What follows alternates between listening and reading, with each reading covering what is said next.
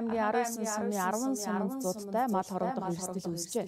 Ойрын 15 жил болоогүй хүүтэй өвөл болж байгааг малчид хэлж байна. Хүнс хөдөө аж ахуйн хөдөлмөрийн сайд Архангай аймагт ажиллаж улсын нөөцөөс хямд үнэтэй өгсдөжээл малчдад өглөө.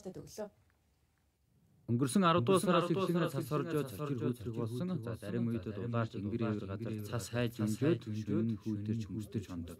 За энэ нь богино хөдийн мал хорволжтой цас туурсан мөссөн бэлчээрд бог мал гизээ хурдан авч турж эцэг болсон. За төлөг борлон гар тэжээд орж малын зүү бус хорогдол нэмэгдэх хандлагатай болжээ. Маслын маслын дуу байна одоо. Одоо ингээд удаар удаа жоохон зөө жоохон байгаад байгаад өвлжилт өвлийн цагтай хүнд байсан. Одоо ойрноос дулаараа бас арай игэслүүлж байна. За жижиг багцууд хичээл байдаг. Тэгээ томчууд нь бол хичээлтэй яг яг. Их зас орсон. Манай энэ дэр нь 2 3 удаагийн их хэмжээний зас орсон. Намар 10 сар намар 10 сар. Тэгээд энэ жоохон шуур гихтэй, салшуур гихтэй. Тэгээд энэ үүч жоохон хүнд талдаан бай. Ер нь хөндөр зүйн хөндөр зүйн тийм. Ер нь баг маалууд ер нь жоохон өхөж хорогдоод эхэлчихлээ. Заранга аймаг нь адуу үгийн тоогоороо улсдад тэргүүлдэг. Мал сөрөөгөө тогтмол өсч байгаа аймаг юм.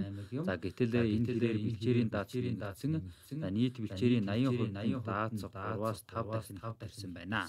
За тодорхой чөлөөлөө 100 мал бэлчих газарт 300-аас 500 мохин бэлчиж байна. За энэ нь үс төжөөлийн хомсдод үүсгэж зулын эрсдлийг нэмэгдүүлж байна. За энэ үйл малчид өмчидүүдээс илүү хүнд нөхцөлд байгаа.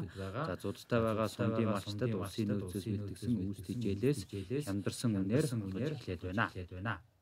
Мал төрийн мал төрийн хамгаалалт байна гэдэг хуулийн хуулийн одоо одоо зүйл заасан үүдэг зааснаас одоо одоо хувийн мал гэсэн дээр төр хандахгүй нонцгой байдал. Хүнстэй аж ахуй яам яам айл болохоор болохоор ашиглан ашиглан зуттай байгаа байгаа сумд сумдтай бас дэмжлэг боломжийг болгосон хүрэж байна. За улсын улсын аюулгүй эдлийн нөөцөөс одоогийн байдлаар бол нэг аймгийн хэмжээ бүх сүмдуудад нэг 280 тонн тонн ногоон тижээлийг бол бас малчтад малчтай өнөр бол за ингээд тараагаад хуваарлаад олгоод бол за цаашдаа ч цаашдаа энэ ногоон тижээл болоод өсний хангамжийг хэмжиг бол хэмжигдүүлэх за энэ дээрс бас онцгой анхаарал анхаарал хандуулах хангалттай өнөр малчтуудыг илүүдэхэд одоо бас дэмжлэг үзүүлэх энэ арга хэмжээг хүн арга бол ашиг шаардлагатай байна гэдэг байна гэдэг бол өнөөдрийн бас томилт төрөнд бол харагдаж Заранга аймагт 6 сая гаруй мал үлжиж байгаа. Өмнөөс 32 мянган мал хамрагдаад байна.